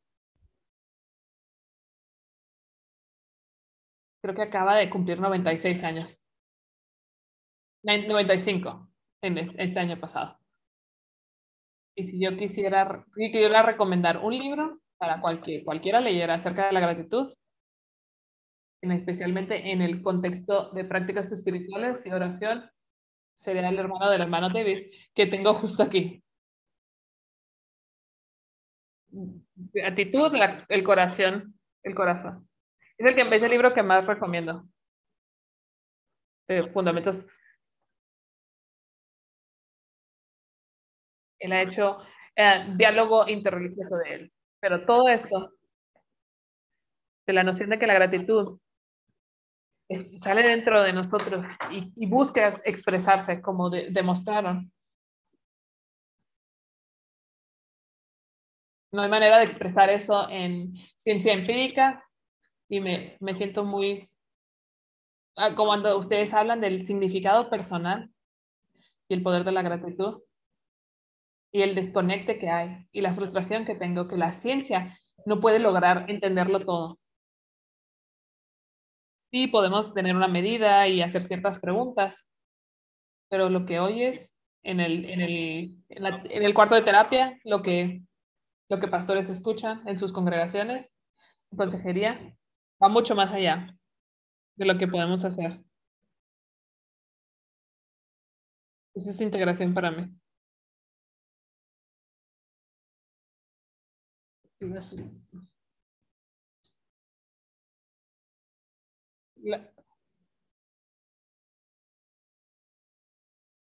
es que aprecio los comentarios que ustedes hacen. No sabía que eras de Boston, Pam.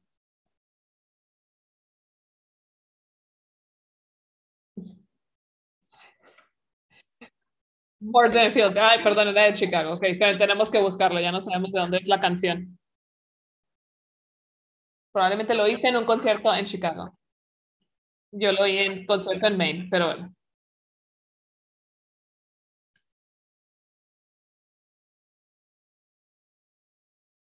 Ustedes han hecho mucho trabajo con adolescentes y jóvenes. Su trabajo en, en eh,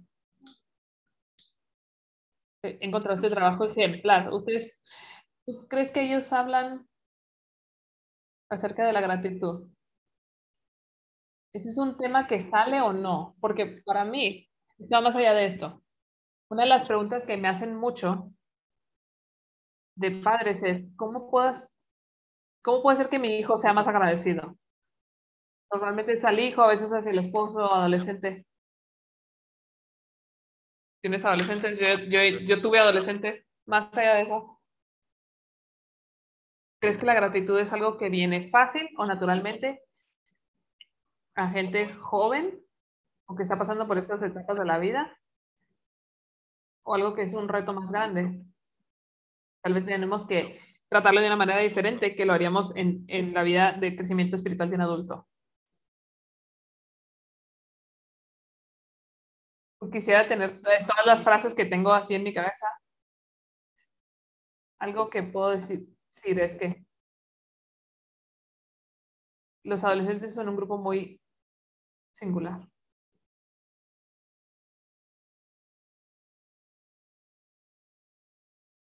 Estos jóvenes podían articular muy fácilmente de, dónde, de viene la raíz de sus dones. Eh, vivimos un grupo muy diverso de adolescentes con diferentes creencias, ya fueran religiosos, cristianos, ateos, judíos. Tenían una conciencia muy profunda y apreciación de la vida a su alrededor. Eran niños que podían, adolescentes que podían ver el significado en las cosas típicas. Eran muy claros que la fe les dio propósito y cómo, viví, en cómo vivían sus vidas. Es que voy a, voy a regresarme, pero creo que, que eran, eran niños regulares de una manera de desarrollo y tengo muchas ah, preguntas. Creo que para aquellos más jóvenes que, tienen un entendimiento más concreto de, esta fuerza cósmica e imaginación. Para ellos es más fácil como jóvenes estar conscientes de la gratitud. No sé si los adolescentes en general atribuyen el, el, dador, estar, el, el regalo estar conectado al dador pero sí identifican que hay, que es de fuera. Ayudar a, los adolescentes a hacer esta conexión entre el, entre el regalo y el dador. Aunque sea, este, este, por ejemplo, yo con el collar de mi tía, Dios me dio a mi tía. Hacer esa conexión de desarrollo es muy, muy, muy importante. Mary Ellen en USC, ella hace investigación acerca a masas abstracta de cómo esto se internaliza y ayuda en el desarrollo.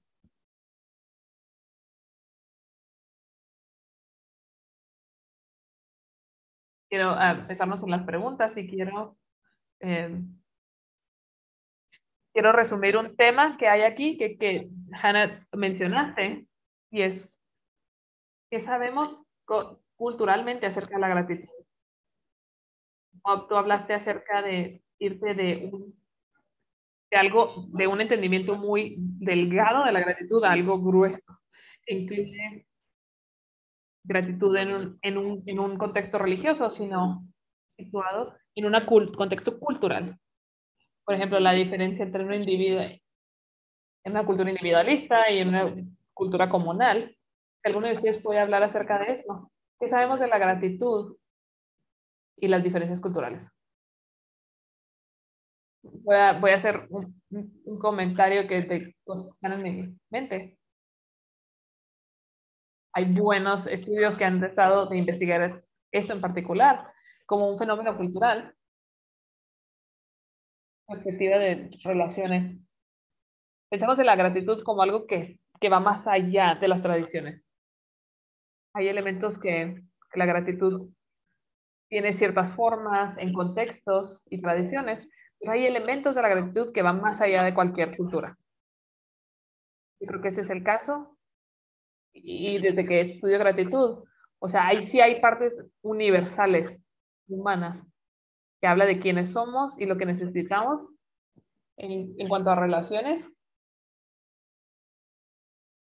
en, en, esto de construir una identidad como quienes reciben y como quienes dan. Puede, si no es universal, hay cosas que sí están a través de las culturas las maneras específicas en que, se, en que cómo se dan regalos y cómo se reciben. Hay prácticas específicas para cada ubicación, se van a ver diferentes, honestamente. O sea, sería un shock que fueran todas iguales. Los significados y las expresiones son diferentes, el grado en que la gratitud y que, en que está la deuda y en, como Hannah como vemos una, esta deuda como algo placentero o no placentero, nos gusta esa deuda, nos gusta sentir esa deuda, porque nos hace sentir más cercanos al que nos dio, al benefactor, o es algo que queremos deshacernos rápidamente. Eso es muy diferente. Eso puede diferenciar mucho en cuanto a la cultura y cosmovisión de una persona. Esa es una manera de decir, hay cosas que son universales y locales. Se necesita más investigación acerca de esta, en esta área.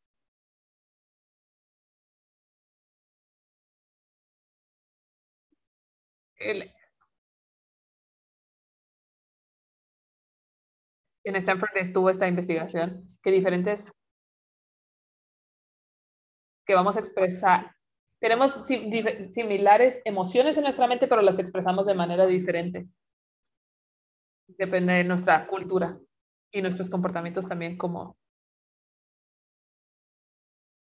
mi hipótesis y que me gustaría estudiar es que la gratitud a Dios y la referencia al dador, yo, mi hipótesis sería que entre más sagrado o especial o más poderoso es la referencia. Si Dios se ve como alguien poderoso y el que ama, o si es ciencia, si tengo una cosmovisión diferente, tengo una diferente antología de la conexión de la comunidad o si eso está funcionando, que me está inspirando a dar regalos. Estas diferentes vistas eh, estas creencias se van a ver diferentes, depende de qué tanto el impacto está impactado directamente por qué tan grande o santo vemos al dador. Tiene que ver con qué tanta importancia le damos al dador en la vida de una persona. Creo que lo que yo he experimentado en mi vida personal y lo que he visto es, es difícil hacer la línea donde una empieza y una termina. Lo de la gratitud y la deuda. El, el martes, eh, una cliente estaba orando por el dolor de su familia, pero a la vez estaba orando, llorando con la gratitud de ver eso.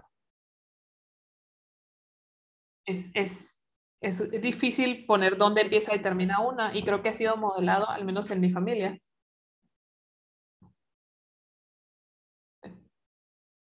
Es difícil. Hay un sociólogo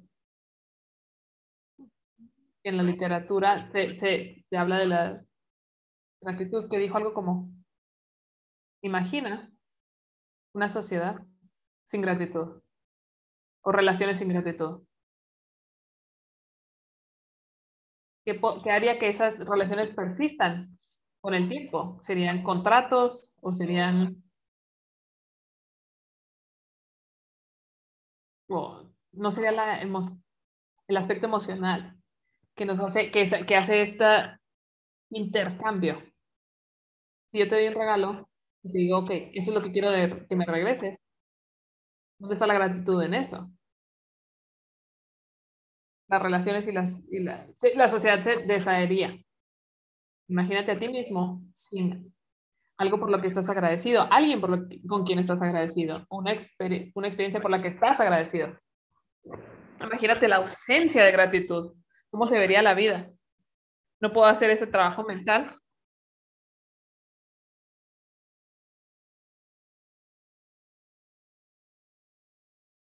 No tengo una respuesta para eso pero estamos agradecidos de recibir el amor. Pero imagínate una relación amorosa y piensa en amar a esa persona y estar agradecido por esa persona. Se empieza a sentir diferente. Porque verías las cosas diferentes. ¿Qué sería mi vida sin mi esposa, por ejemplo, o sin alguien más?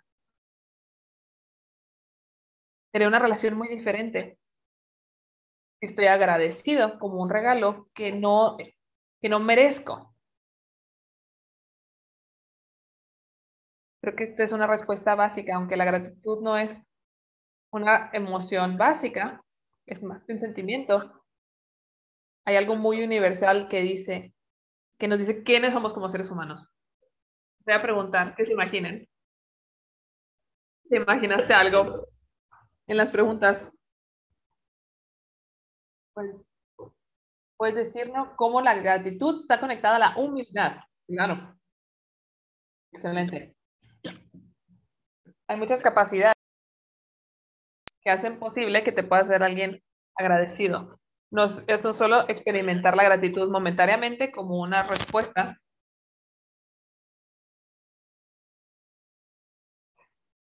como una disposición o virtud, como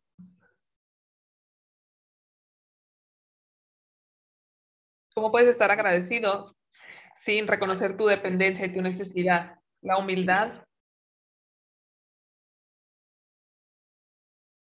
No puedo hacer todo esto solo.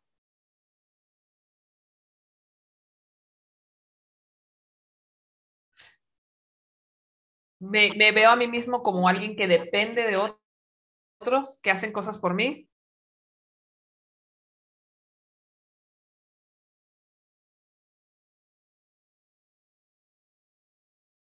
La base de la humildad empieza realmente ahí, estar abierta a las contribuciones de otros y darte cuenta que no hice todo solo. Y una de las razones que menciono esto es que la gratitud es cultural. Es porque muchos nos dicen, no, tienes que hacerlo tú solo, tú tienes que tomarte el crédito de tu, de tu éxito. Nuestra identidad se basa en, en, lo que logramos, no que soy, sino que, hice. Mi, mis logros, mis éxitos y toda la aprobación no se trata de los dones que he recibido, se trata de mi propio, de mi propio logros. Ahí falta humildad cuando tú tienes Entonces, hay al menos cinco cualidades que se necesitan para la gratitud. Para crecer en gratitud. La humildad es una de esas. La capacidad de redención. Ir de lo malo a lo bueno. Puede ir, salir algo malo de lo bueno. Hablamos de esto ayer el sufrimiento, en, poder sacar un beneficio de una experiencia terrible, una identidad, que es lo que estamos pensando hoy, como personas agradecidas, es necesario para nosotros vivir agradecidamente. No quiero pasar todos los cinco, pero la humildad está en el centro de lo que se necesita para ser agradecido.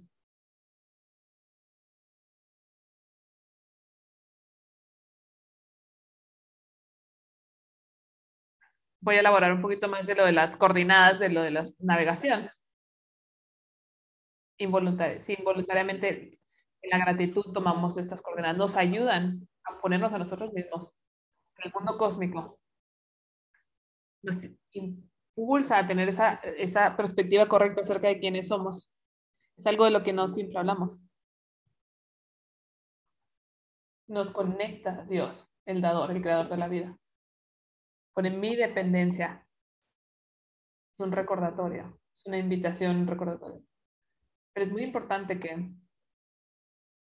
autorreflexionemos. Dice que la autorreflexión no es suficiente en este mundo de coordenadas.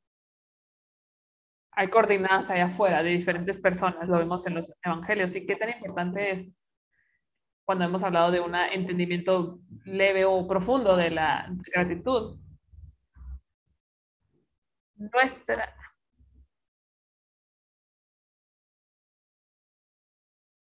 al reflexionar en, nuestra, en, en, la escritura, podemos tener las coordinadas correctas. Estar coordinados en ese proceso.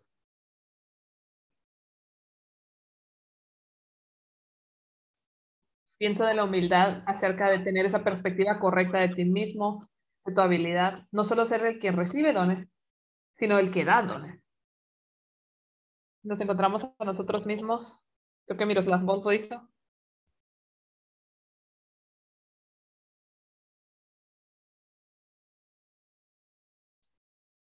recibimos dones de Dios, de otros, y luego damos dones, regalos de vueltas a Dios y a otros. Así es que no terminan con nosotros ni empiezan. Estamos en ese punto medio, no empiezan con nosotros y no terminan con nosotros. Y es parte de esa identidad. Y creo que la humildad nos da. Ana, ¿querías decir algo de la humildad? está de acuerdo con todos ustedes, me recuerda que no estamos haciendo esto solos. O sea, va contra del, pensamiento individualista. Nos estamos relacionando unos con otros y no podemos, estamos La pandemia nos ha recordado acerca de esto, de nuestra dependencia de otros. ¿Cuántas virtudes han sido amplificadas en los últimos años? Una, una sensación de gratitud por la medicina, por los farmacéuticos, por los seguros, por, por la gente que trabaja en procesos, en los que nos permiten sobrevivir. Visto algunos estudios que muestran que los de, niveles de gratitud han aumentado en los últimos años. Hemos se nos han quitado cosas que, por las cuales hubiéramos estado muy agradecidas. Como ver a colegas en persona y no en pantallas, qué cosa tan increíble era eso. Que nos vamos a poder unir de nuevo. Hay cosas que suceden, que levantarán nuestros niveles de gratitud, que suceden naturalmente para que todos podamos aprender de esas experiencias una pregunta interesante. ¿Cómo podemos pensar acerca de la gratitud en relación a justicia? Si la gratitud es una respuesta a un regalo, ¿debemos gratitud? ¿No mostrar gratitud es una injusticia? Sé que hay muchos pensamientos acerca de esto. Yo diría sí. Yo creo que sí cosa que dije ayer, aunque no nos sentimos agradecidos, necesitamos expresarlos porque es lo, lo correcto. Si hay cosas jurídicas o justicia de por qué debemos expresar gratitud, se le debe a esa persona. A personas que hicieron algo por nosotros, recibimos benevolencia, debemos de responder en una manera correcta. Del costo involucrado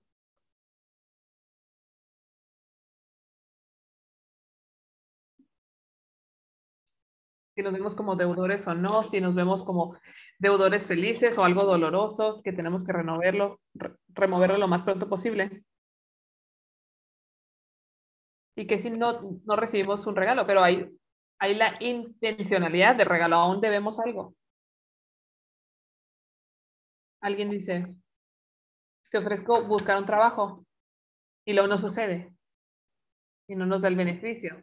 Pero aún así le debemos a esa persona un agradecimiento porque lo intentaron, nos dieron ese esfuerzo, que si no nos gusta el regalo.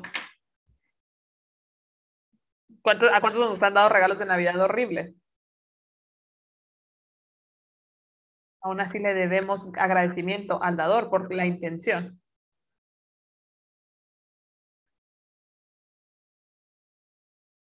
Yo creo que, creo que sí tiene sentido de hablar como una deuda que debemos eh, soltar en una, pagar en una manera correcta y apropiada.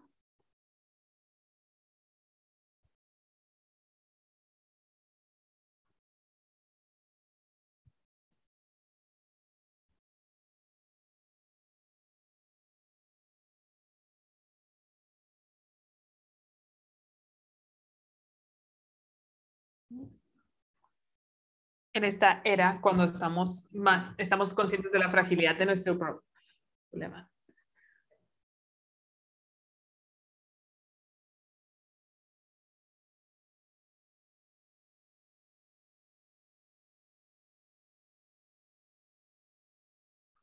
La gratitud nos debe conectar para lo que es justo.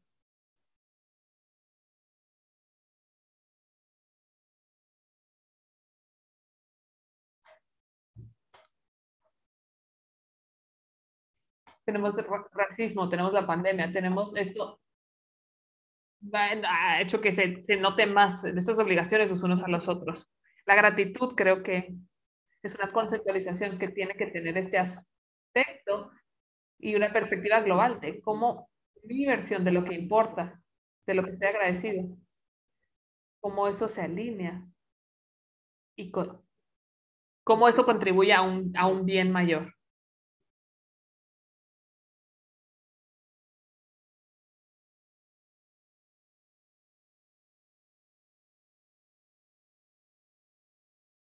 Tiene que haber algunos pastores y teólogos prácticos en esta llamada.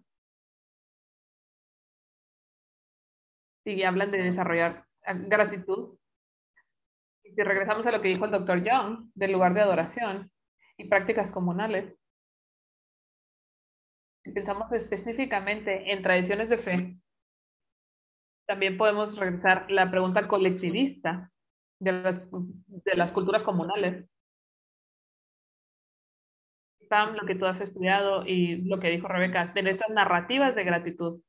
Me pregunto si ustedes pudieran decir por un segundo cuál es el rol de una comunidad religiosa en crear narrativas de gratitud. ¿Qué le dirías a un pastor en un ministerio que está tratando de hacer esto algo útil para su comunidad? ¿O qué has visto que ha sido útil? Voy a, voy a intentar responder primero. Creo que la gran distinción que yo he visto, y creo que es muy importante, una observación. Cuando la gratitud está divorciada de un contexto mayor, deja de ser una manera efectiva de, espiritual de ser. Cuando la gratitud se vuelve algo en sí mismo, o el fin de todo, una estrategia, una táctica para ser más feliz, más sano, tus relaciones van a mejorar, la gente te va a caer mejor.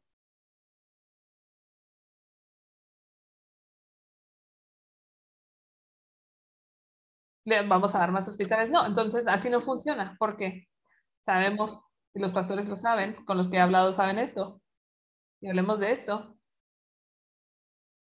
puedes hacer que la gente cambie su comportamiento basado en, en, culpa, pero no van a durar mucho ahí. Puedes...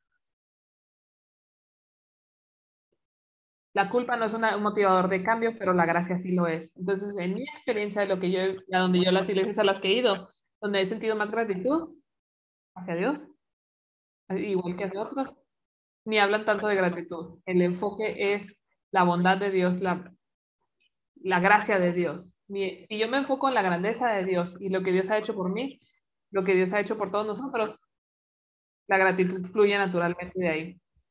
No tiene que ser un enfoque en sí mismo. Si me enfoco en las preguntas mayores.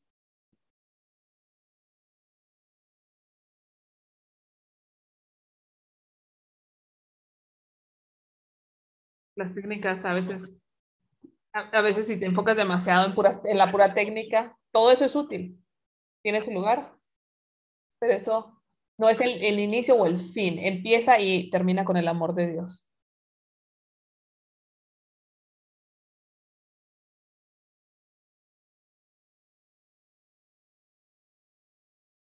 La iglesia coreana lo que yo he visto es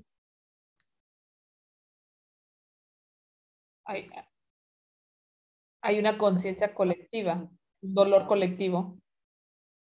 Y a veces cuando lloramos de ese dolor no hay palabras que puedan capturar lo, por lo cual estamos eh, con dolor. Creo que había un sentimiento de, de clamar juntos en ese espacio comunal. Eso es lo que yo he visto y sentido.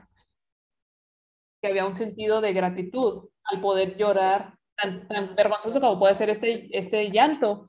Hay otras personas que están llorando también y lo están entendiendo y están... Creo que es algo, ese sentimiento es algo no hablado, esa, por eso me gusta la, la palabra espíritu cuando hablamos de esto,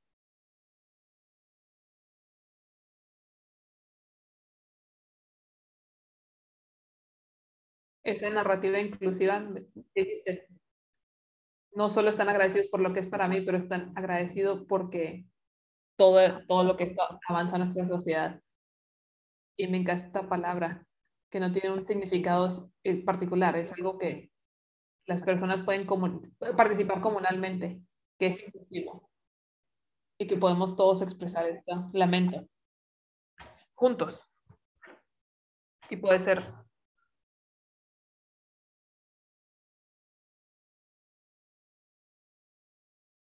poder expresar gratitud.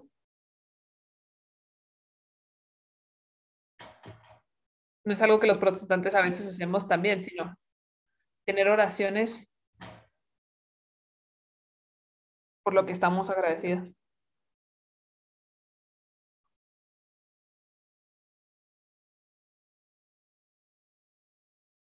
Quiero darle las gracias, Pam, Hannah y Bob.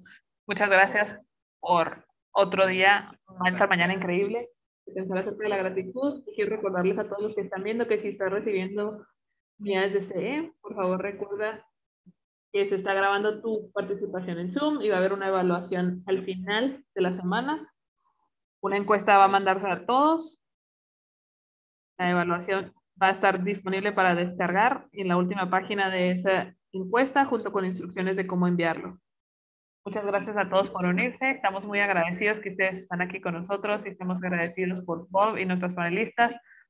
Esperamos que se unan mañana una vez para nuestro tercer y último conferencia. Vayan a su correo de Eventbrite para acceso. El link para mañana. Les deseo bien y esperamos verlos a todos mañana. Mañana es un gran día voy a hablar acerca del cambio climático y la gratitud, algo de lo cual no sé nada. es que voy a necesitar su ayuda. Si te importa el ambiente, aquí nos, nos vemos mañana.